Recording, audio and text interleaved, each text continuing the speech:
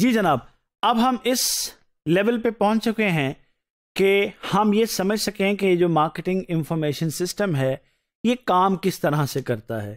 اس کی ورکنگ کیا ہے؟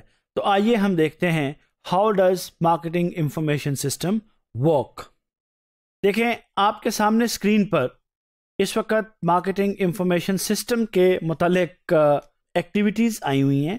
آپ ذرا اسکرین پہ آنے والی اس ڈائیگرام کے اوپر غور کریں۔ تو آپ یہ دیکھیں گے کہ اس کے اندر تین لیئرز ہیں۔ پہلی جو لیئر ہے، وہ بالکل نیچے اگر دیکھیں تو وہ لیئر مارکیٹنگ انوائرمنٹ کو ریپرزینٹ کر رہی ہے۔ جو اس کے بعد اگر آپ یہ والی جو لیئر ہے، یہ مارکیٹنگ انفارمیشن کو یعنی یہ آپ کی ایک لیئر ہے، یہ اس کو ریپرزینٹ کر رہی ہے۔ اچھا اس کے بعد اگر آپ دیکھیں تو سب سے اوپر ایک لیئر ہے جو کہ marketing managers and other information users کو ریپرزینٹ کر رہی ہے۔ اگر آپ اس والی لیئر کو دیکھیں تو اس سے آپ کو معلوم ہوتا ہے۔ اور اس کے بعد درمیان کی جو لیئر ہے وہ کسی پروسیس کو ریپرزینٹ کر رہی ہے۔ آپ کے سامنے کوئی پروسیس آ رہا ہے۔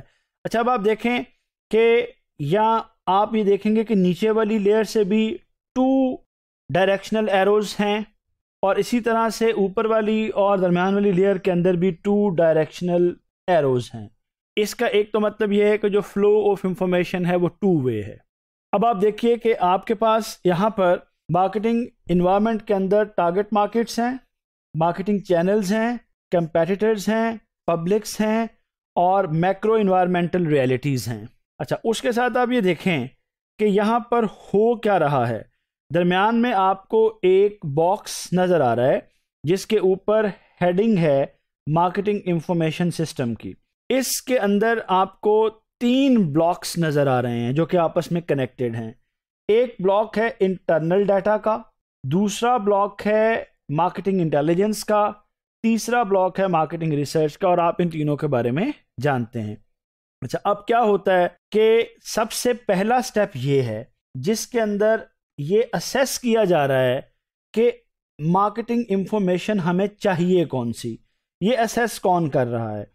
یہ اسیس کر رہی ہیں آپ کی مارکیٹنگ ریسرچ ڈپارٹمنٹ اور یہ کس سے اسیسمنٹ لے رہے ہیں جو اوپر آپ کے مختلف مینیجرز ہیں اور جو آپ کے انفارمیشن یوزرز ہیں۔ اسیسمنٹ کے بعد اب آپ دیکھتے ہیں کہ آپ کے پاس یہ انفارمیشن یہاں سے موو کرتی ہے۔ تو انٹرنل آپ کا ڈیٹا بیسز ہیں مارکیٹنگ انٹیلیجنس ہے اور مارکیٹنگ ریسرچ ہے۔ یہاں سے پھر آپ دیکھیں کہ یہ انوائرمنٹ سے جو ایرو ہیں، یہ انفارمیشن یہاں سے اوپر جا رہی ہے۔ اور آپ کے پاس پہنچ رہی ہے۔ یہاں سے انفارمیشن پروسیس ہوتی ہے۔ یہ دیکھیں نا، یہ کیا کر رہا ہے؟ It is developing needed information جب انفارمیشن ڈیولپ ہو گئی ہے، تو اس کے بعد وہ اب انفارمیشن انالائز ہو رہی ہے اور اس کو استعمال کیا جا رہا ہے اور کون استعمال کر رہے ہیں اس کو؟ یہ انفارمیشن اوپر جو بیٹھے ہوئے مینیجرز ہیں، یہ استعمال کر رہے ہیں۔ تو اگر آپ اس کے اوپر ایک غور کریں، تو آپ کو معلوم ہوتا ہے کہ the way marketing information system works یہ پہلے لیول کے اوپر کیا کرتا ہے؟ انفارمیشن کی نیڈ اسیسمنٹ کرتا ہے۔ دوسرے لیول پر اس انفارمیشن کو جنریٹ کرتا ہے۔ تیسرے لیول پر اس انفارمیشن کو یوزرز تک پہنچاتا ہے، جو اس کو یوز کرنے کے بعد اپنے مارکیٹنگ ڈسیزنس لیتے ہیں۔ یعنی اس میں اگر آپ غور کریں تو آپ کو اب یہ بات کلیئر ہو گئی ہوگی کہ جو مارکیٹنگ انفارمیشن سسٹم ہے، وہ کس طرح سے ورک کرتا ہے۔ یہ آپ کو معلوم ہونا چاہیے اور آپ اپنی زندگی میں اس کو جب آپ کبھی بھی مارکیٹنگ کا کوئی رول پرفارم کر رہے ہوں، تو آپ اس انفارمیشن سسٹم کے فلو کو استعمال کر سکتے ہیں۔ مجھے امید ہے کہ یہ بات آپ کو کلیئر ہوئی ہوگی۔ Thank you very much